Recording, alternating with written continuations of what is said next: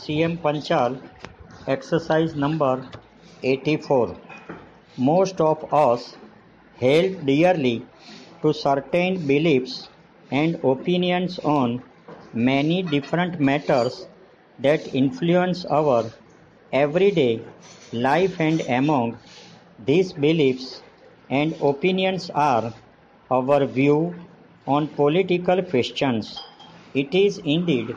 almost impossible not to form some kind of personal opinion about important matters that influence the life of the people in a great industrial country as ours. Even those who would greatly like to lead a peaceful life cut off from the questions that trouble our modern world must find it remarkably difficult to do so, for news has a way of following a person to the most distant plexus. Para, if we wished to keep out of touch with life, we should have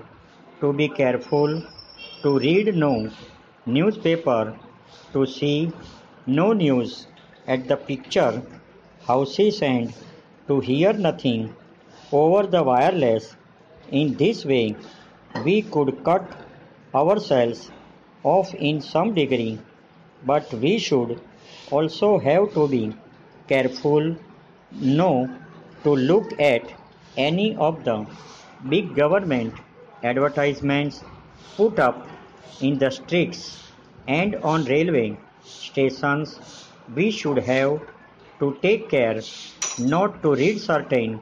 kinds of books. And beyond all this, we should have to be very careful indeed with whom we talked for important political issues find their way into most talk our friendly para these difficulties need not trouble us greatly, however, for very few of us want to cut ourselves off from the rest over.